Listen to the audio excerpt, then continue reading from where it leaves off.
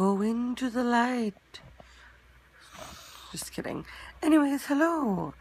Um, what did I do today? I woke up and I went to work, and I was at work all day. And then I came home, and I gave Toby a bath. Come here, Toto. Come here. Come here. Oh. Come here. No, Kate, come here. Hey, that's your butt. Hey, come here.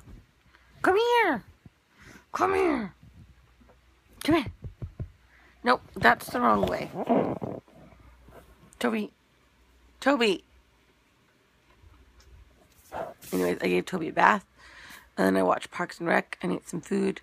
And now I'm I'm about 150 pages away from the first Outlander book. And shit's going down. Um, I talked to Tasha on the phone. She's in Chicago. She's having a hard time. But she's only been there for about a week and a half. And she's a very strong person. What the fuck is that?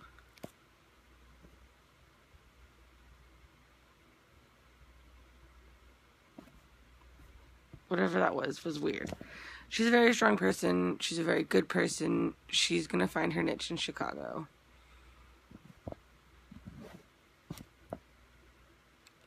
Um, so that's it.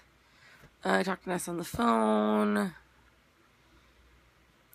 Um, I finally got an email back from Qualcomm about the One Direction concert incident. And they're gonna give us a full refund of our tickets because those bastards fucked up our concert experience.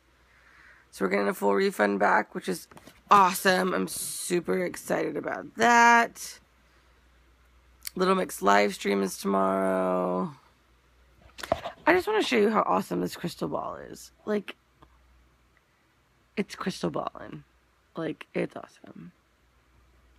And tomorrow I have to go to Sweet Things and turn in my shirt and give the key back, which I'm kind of sad about. But it's okay. Uh, I'll probably, I don't know. I do not know, but I'm gonna go to sleep and I'll see you later. Bye.